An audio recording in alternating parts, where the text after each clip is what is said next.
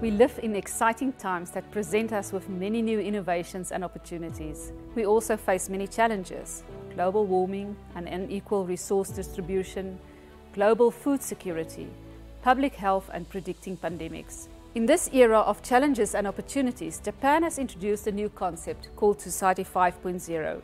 This is a society that, through the high degree of merging between cyberspace and physical space, will be able to balance economic advancements with the resolution of social problems by providing goods and services that granularly address manifold latent needs regardless of local, age, gender or language. Society 5.0 follows on from Society 1.0, the Hunting Society, Society 2.0, the Agricultural Society, Society 3.0, Industrial Society, and Society 4.0, the Information Society. Society 5.0 is a way to address both the future economic and societal challenges faced by humanity at present and in future stage by using all the advances of Industry 4.0. So the question is, what will be different in Society 5.0? In our present society, knowledge and information are used without sharing. In Society 5.0, the Internet of Things will connect all people, data, information and knowledge will be shared.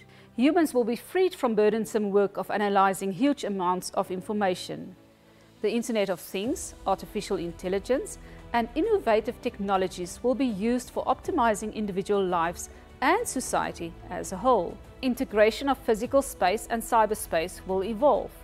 Value creations will be accelerated by AI and robots. Although the challenges faced by humanity are extremely complex, people will not be overwhelmed by information because technology will be used to analyze large data sets and other information and recommendations will come from the results. So, in a human-centered society, it will be possible to balance economic development with resolution of social issues. Society 5.0 will overcome social disparities, for example in access to goods by using drones for distribution in rural areas.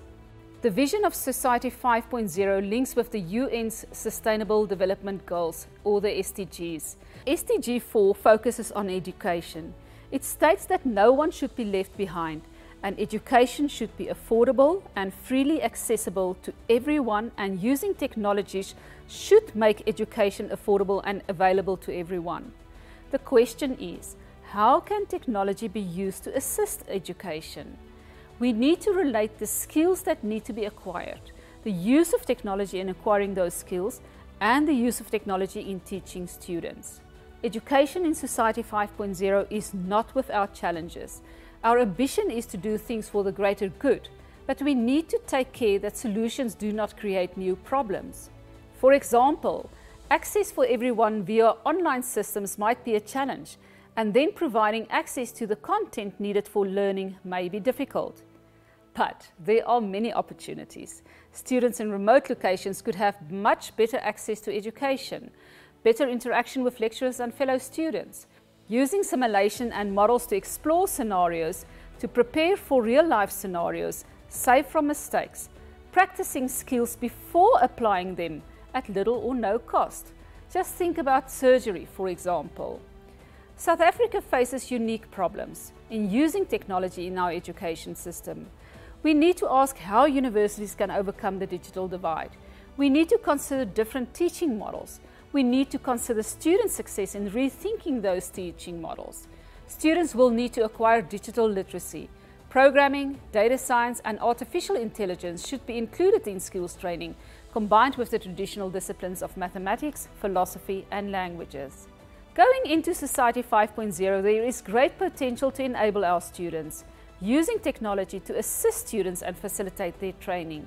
And it's essential that lecturers become informed about new technologies and understand how to use them.